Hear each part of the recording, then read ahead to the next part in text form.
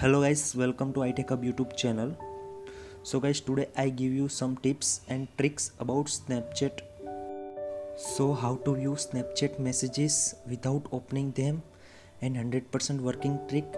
So guys please follow the step. So guys first of all open your snapchat. Then you can see also chat icon.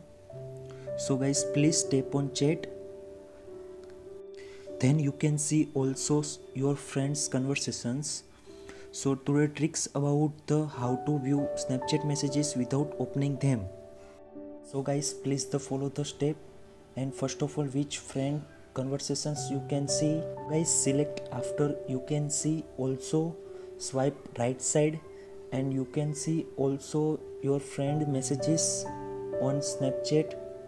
So first swipe right side. After swipe left side then you can see also your friend messages and your messages without opening them. I hope this video help for you.